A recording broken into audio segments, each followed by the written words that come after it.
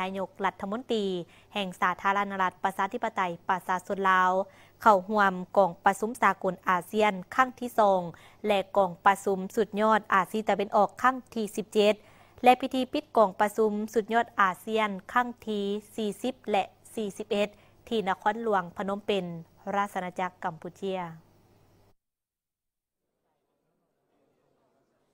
ในวันที่ 13พฤศจิกายน2022ที่นครหลวงพนมเปญราชอาณาจักรกัมพูเชียท่านพันคำวิภาวันนายกรัฐมนตรี แห่งสาธารณรัฐประชาธิปไตยประชาชนลาวพร้อมด้วยคณะ ได้เข้าร่วมกองประชุมสากลอาเซียนครั้งที่สองภายใต้หัวข้อการฟื้นฟูหอบด้านหลังพยาธิโควิด -19 ที่จัดขึ้นในระยะกองประชุมสุดยอดอาเซียนครั้งที่ 40 และ 41 และกองประชุมสุดยอดที่เกี่ยวข้อง ภายใต้การเป็นประธานของกัมพูเชีย โดยมีบรรดาประมุขรัฐหัวหน้ารัฐบาลอาเซียน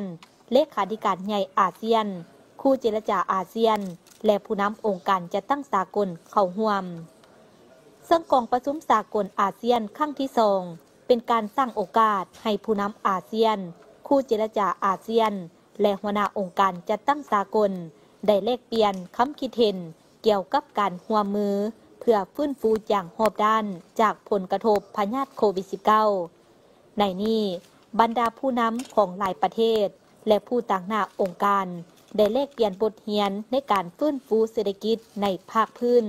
ก็คือบรรดาประเทศต่างๆ และได้เน้นย้ำการเพิ่มทวีการหัวมือภาคพื้นและสากล โดยถือเอาปัญหาการฟื้นฟูจากผลกระทบพยาธิโควิด -19 เป็นวาระสำคัญ แนใส่สร้างภาคพื้นให้มีความเข้มแข็งความรวม และยืนยง จากนั้นท่านพันคำวิภาวันก็ได้นำพาคณะ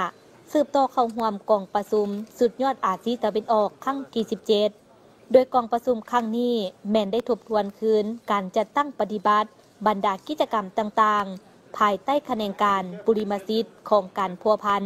และหัวมือในขอบเขตอาซีตะวันออก หรือ EAS เซนการเงิน สิ่งแวดล้อม และพลังงาน การศึกษา สาธารณสุข และพยาธิติแปด การคุ้มครองภัยพิบัติ การเสื่อมจอด เศรษฐกิจ และการค้า ความมั่นคงด้านเสบียงอาหาร และการหัวมือทางทะเล ซึ่งบรรดาผู้นำได้ให้ความหมายมั่น ที่จะเพิ่มทวีความพยายามในการหัวมือเพื่อสร้างเงินไขที่เอื้ออำนวย ให้แก่การฟื้นฟูเศรษฐกิจสังคม หลังการระบาดของพยาธิโควิด -19 และสร้างความอาจสามารถทางด้านสาธารณสุข เพื่อหับมือกับโรคระบาดในต่อหน้าทั้งนี้ก็เพื่อเป็นการหับประกัน การพัฒนาแบบเงินยงของภาคพื้นให้หลายขึ้นกว่าเก่า พร้อมกันนั้นกองประชุมยังได้ปรึกษาหารือเกี่ยวกับการพัฒนาพลังงานแบบยืนยงและสะอาด การส่งเสริมบทบาทแม่หญิงในทุกด้านของสังคม และแลกเปลี่ยนความคิดความเห็นเกี่ยวกับปัญหาภาคพื้นและสากลที่พ้นเด่น กองประชุมยังได้เน้นนักความสำคัญของกองประชุมสุดยอดอาซีตะวันออก ซึ่งเป็นเวทีปรึกษาหารือสำหรับผู้นำเกี่ยวกับปัญหายุทธศาสตร์บัญหาการเมืองและเศรษฐกิจที่มีความสนใจและผลประโยชน์ร่วมกัน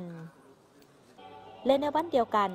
ท่านพันคำวิภาวันนายกรัฐมนตรี แห่งสาธารณรัฐประชาธิปไตยประชาชนลาว ได้นำพาคณะเข้าห่วมพิธี ปิดกองประชุมสุดยอดอาเซียนครั้งที่ 40 และ 41 และกองประชุมสุดยอดอื่น ๆ ที่เกี่ยวข้อง โดยการก้าวปิดของสมเด็จอัครมหา เสนาบดีเตโจหุนแซนนายกรัฐมนตรี แห่งราชอาณาจักรกัมพูเชีย จากนั้น สมเด็จอัครมหา เสนาบดีเตโจฮุนแซนก็ได้กล่าวมอบหน้าที่ประธานอาเซียน ให้แก่ประเทศอินโดนีเซีย